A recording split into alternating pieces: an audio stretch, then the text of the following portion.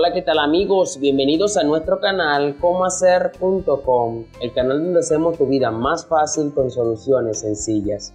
En este video exploraremos algunas soluciones comunes para arreglar el control remoto Samsung One Remote cuando no funciona como debería. Por eso si estás listo, comencemos. Bienvenidos a comohacer.com. Los controles remotos son una parte esencial de la experiencia de entretenimiento en el hogar y el control remoto Samsung One Remote es conocido por su comodidad y también por su versatilidad.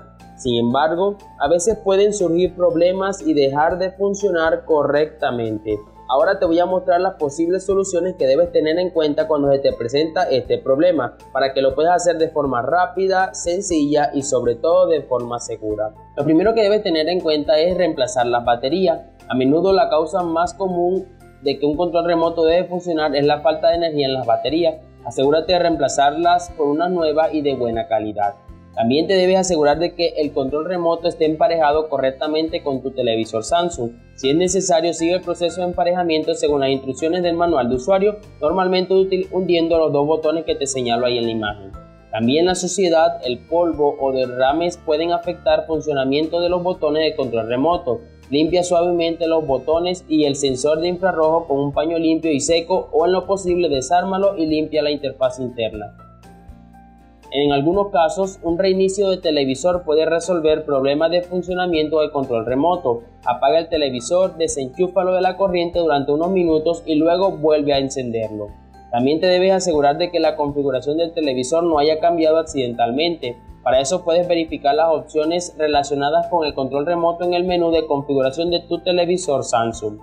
También si tienes acceso a otros control remotos Samsung funcionales, pruébalo en tu televisor. Esto te ayudará a determinar si el problema está en el control remoto One Remote o en el televisor en sí.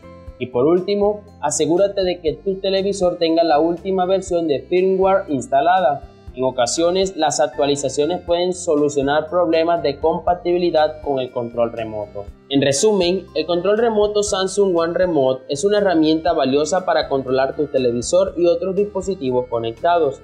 Si se encuentra con problemas de funcionamiento, no es necesario entrar en pánico ni reemplazarlo de inmediato.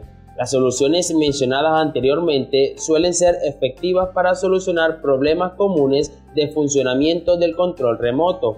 Siguiendo los pasos mencionados anteriormente, puedes restaurar la funcionalidad de tu control remoto en lo posible y también continuar disfrutando de tu experiencia de entretenimiento en el hogar sin ningún tipo de interrupciones. No olvides darle like a este video y suscribirte a nuestro canal. Activa la campanita de notificaciones y nos vemos en un próximo video. Adiós.